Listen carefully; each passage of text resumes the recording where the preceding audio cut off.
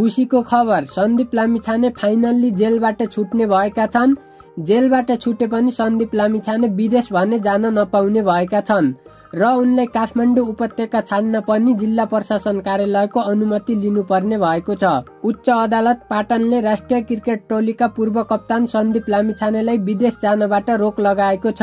बिहिबार अदालतमा न्यायाधीश ध्रुवराज नन्द र रमेश ढकालको इजलासले उनलाई बिस लाख धरौटीमा रिहा गर्न आदेश दिएको हो।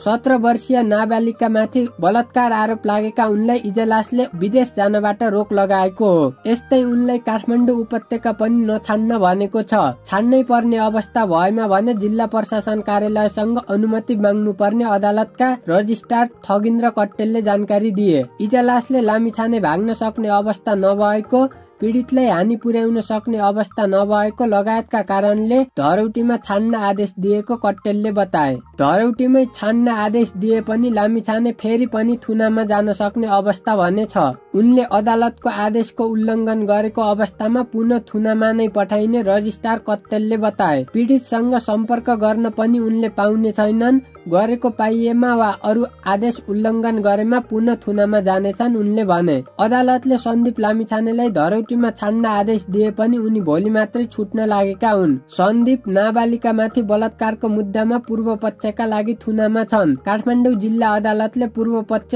थुनामा पठाउन दिएको आदेश विरुद्ध सन्दीप उच्च अदालत पुगेका थिए। गत कार्तिक अठार गते काठमाडौँ जिल्ला अदालतमा दुवै पक्षको बहसपछि सन्दीपलाई थुनामा पठाउन आदेश दिएको थियो। यसअघि बलात्कार आरोपित क्रिकेटर लामिछानेबाट पीडित किशोरीको जन्म सम्बन्धी प्रमाण झिकाउन काठमाडौँ जिल्ला अदालतले आदेश दिएको थियो। लामिछानेमाथि नाबालिग अठार वर्ष मुनिलाई बलात्कार गरेको आरोप छ।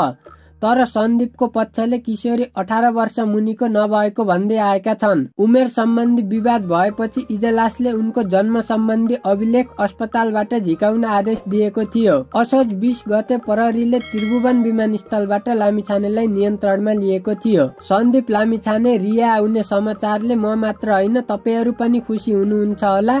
यदि हुनुहुन्छ भने यो भिडियोलाई एउटा लाइक गरेर च्यानललाई सब्सक्राइब गर्न नभुल्नु होला। धन्यवाद।